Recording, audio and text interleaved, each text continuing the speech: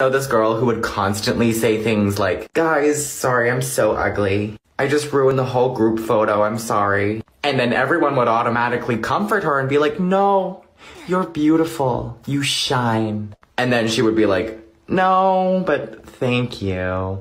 And she would do the same thing over and over again, trying to get everyone's attention. So eventually I got tired. So the next time she came to me saying, I'm so ugly, I was like, you know what? You are.